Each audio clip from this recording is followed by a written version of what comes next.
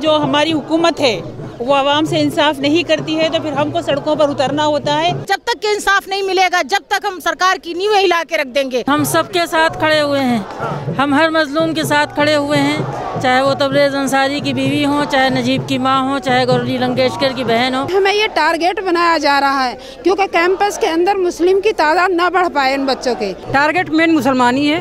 जो हमें समझना पड़ेगा। आज उसके बच्चे गए कल हमारे बच्चे जाएँगे कल तुम जाओगे कोई भी हो सकता है। पीएम नरेंद्र मोदी और हमारे मंत्री अमित शाह जी से कहना चाहती हूँ कि अभी भी वक्त है होश में आ जाइए। कैंपस में से किसी भी के भी साथ ऐसा हो सकता है। नहीं सहेंगे। नहीं सहेंगे नहीं सहेंगे। संगीन सा नहीं चलेगा। नहीं चलेगा नहीं चलेगा। अमित शाह जवाब दो। जवाब दो जवाब दो। अमित शाह मुर्दाबाद। मुर्दाबाद शर्म करो। गृह मंत्रालय जवाब दो। जवाब दो जवाब दो। जुल्मी जब जब जुल्म करेगा सत्ता के हथियारों से।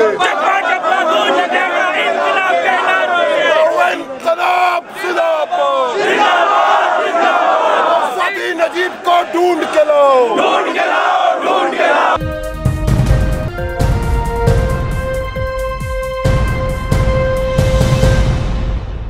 दिल्ली के जंतर मंतर पर फातिमा नफीस के साथ इस वक्त मुस्लिम महिलाएँ बड़ी तादाद में मौजूद हैं, जिन्होंने आवाज़ उठाई कि नजीब को ढूंढ के लाओ। तबरेज़ अंसारी की बीवी के साथ ये लोग यहाँ आज खड़ी हुई हैं कि तबरेज़ अंसारी को इंसाफ मिलना चाहिए। सुबोध कुमार जो बुलंदशहर के इंस्पेक्टर थे, उनके साथ जो कुछ हुआ, उन्हें इंसाफ दिलाने की बात यहाँ ये लोग कर रही हैं। आप आज दिल्ली के जंतर मंतर पर हैं। आपसे जानना चाहूँगा, क्यों इंसाफ के लिए आज इतनी लड़ाई लड़नी पड़ रही है? इंसाफ नहीं मिल रहा है। जब इंसाफ के लिए जो हमारी हुकूमत है वो आवाम से इंसाफ नहीं करती है तो फिर हमको सड़कों पर उतरना होता है।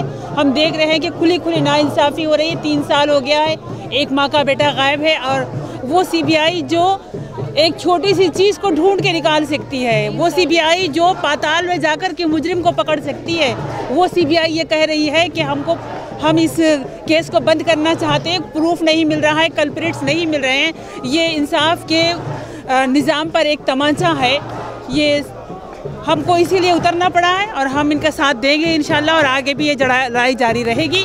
जहाँ के हम हम हम हम सबके साथ खड़े हुए हैं। हम हर मजलूम के साथ खड़े हुए हैं। चाहे वो तबरेज़ अंसारी की बीवी हो चाहे नजीब की माँ हो चाहे गौरी लंकेशकर की बहन हो। हम सबके साथ खड़े हैं। हम हर हम हर जुल्म के ख़िलाफ़ आवाज़ उठाएँगे। हम सड़कों पे आएँगे। हम हर मुमकिन कोशिश करेंगे कि इंसाफ मिले। क्या ऐसा नहीं लगता आपको कि कहीं ना कहीं सिर्फ़ मुसलमानों को टारगेट करने की एक कोशिश है? जिस तरह नजीब का मामला है जिस तरह तबरेज अंसारी का मामला नहीं सिर्फ़ मुसलमान नहीं दलित भी जी हाँ शेड्यूल कास्ट भी है। सिर्फ़ मुसलमान नहीं लेकिन टारगेट मेन मुसलमान ही है। टारगेट मेन मुसलमान ही है जो हमें समझना पड़ेगा। आज उसके बच्चे गए कल हमारे बच्चे जाएँगे कल तुम जाओगे कोई भी हो सकता है। कोई भी चाहे वो हिंदू हो या मुस्लिम हो जो भी हो किसी का भी हो सकता है। तो उसके जी, मेरा ये कहना है, मैं सनारा हूँ, मैं लखनऊ से आई हूँ, मैं एक सामाजिक कार्यकर्ता हूँ। और समाज के हर मुद्दे पे लड़ना हमारी एक ज़िम्मेदारी है। जिस तरह से नजीब की माँ की आँखें सूख गई हैं रोते रोते उसको शायद ही एक माँ समझ सके। और हम सब हमारी जितनी भी बहनें हैं, मुस्लिम बहनें हों, चाहे वो दलित हों, चाहे भी, जो भी हक की लड़ाई लड़ता है, वो नजीब की माँ के साथ है, गौरी लंकेश की बहन के साथ हैं, और हमारी, क्या बोलते हैं, तबरेज़ अंसारी की बीवी के साथ हैं, और हम लोग हमेशा इस लड़ाई को लड़ते रहेंगे, और इन जब तक के इंसाफ नहीं मिलेगा, जब तक हम सरकार की नींव हिला के रख देंगे, और मैं कभी भी चुप नहीं बैठने वाली हूँ, और मैंने हमेशा यहाँ से लेकर लखनऊ तक लड़ाई लड़ी है, चाहे वो तबरेज़ अंसारी की हो, चाहे वो गौरी लंकेश की हो, चाहे भी किसी की भी हो, और मैं यहाँ दिल्ली के जंतर मंतर से एक बार पर हमारे पीएम नरेंद्र मोदी और हमारे मंत्री अमित शाह जी से कहना चाहती हूँ कि अभी भी वक्त है, होश में आ जाइए, वरना जिस दिन जनता जाग गई तो उनकी कुर्सी की एक एक किरचे उड़ जाएँगी और उनको बैठने के लिए, कहीं सर छुपाने के लिए, मुँह छिपाने के लिए जगह नहीं मिलेगी। आज एक नजीब नहीं, सबका, सब नजीब हैं। कैंपस में से किसी भी के भी साथ ऐसा हो सकता है।